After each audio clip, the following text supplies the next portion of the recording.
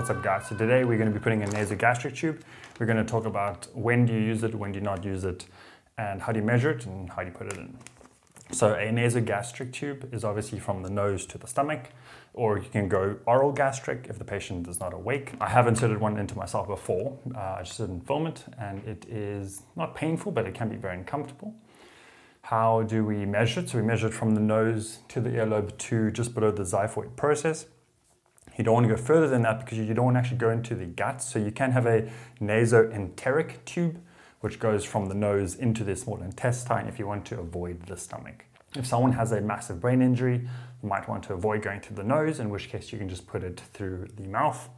Not a biggie. You can use it to put things into the stomach. You can you can use it to take things out of the stomach. Something common is that if, if we RSI someone, we're going to be taking fluid out of their stomach or air out of their stomach if we've bagged air into their stomach, or if you want to put something in, so activate activated charcoal, or you want to warm them up so you can put warm water into their stomach. Something that's super important is that you need to make sure it's in the right place. If you pass this in and it goes into your trachea, into your lungs, and you put activated charcoal into your lungs, which has happened, you're going to cause a lot of problems. So it's super important that we test it in the stomach. How do we do that? Well, we can take a big syringe and blow air into the nasogastric and listen to the stomach, and we should hear bubbles. And we can also draw out stomach content, and we can do a litmus test on that content because the pH in the stomach is very high.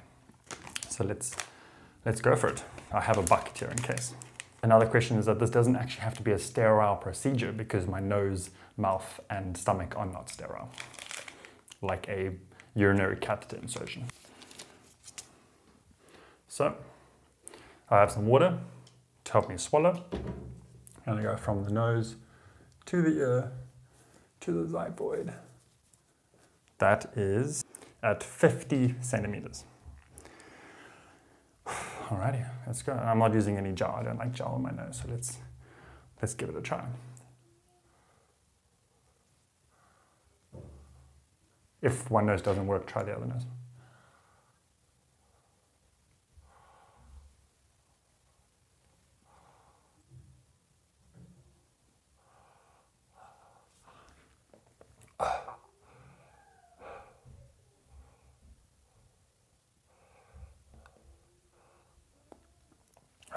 All right, I'm at the back of the throat.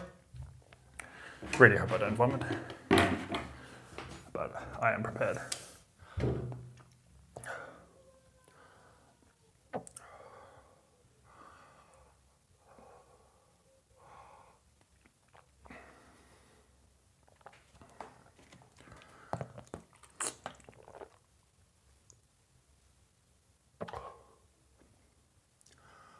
Hello.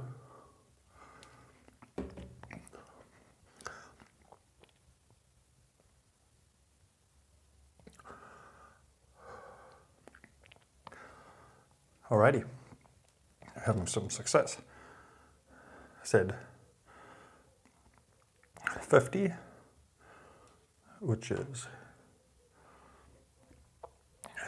there.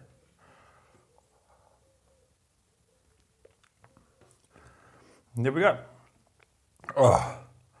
So how do we know that it's in? Oh, it's very uncomfortable. If I blow on this, what's gonna happen? I should have bubbles in my stomach. Oh, oh. that's uncomfortable. So I can siphon water into my nose.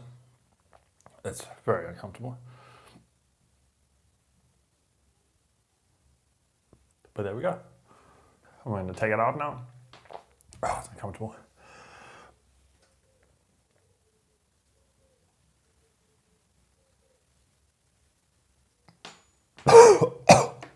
Alrighty, so that is how you insert a nasogastric tube.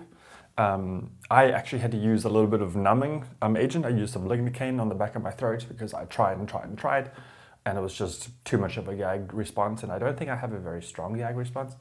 Um, but it was too much of a gag response. So I just sprayed a little bit of lignocaine on the back of my throat and then I got it in, no problem. So it is, I think it's very uncomfortable. Um, this is a relatively large one. You do get much smaller and much softer ones. So there are many other options. But what's important is that you know that the tube is in the right place. And once you know it's in the right place, then you can start doing things you need to do, whether you're going to be putting things in or taking things out.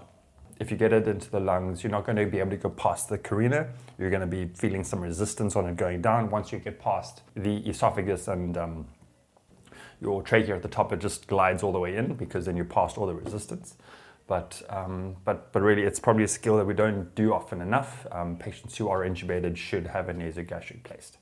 So, guys, I hope this was good and that, yeah, we, we all learned something from it. So, thanks for your time. If you enjoyed this, please like, share, and subscribe. And if you have any questions about how that felt, uh, let me know.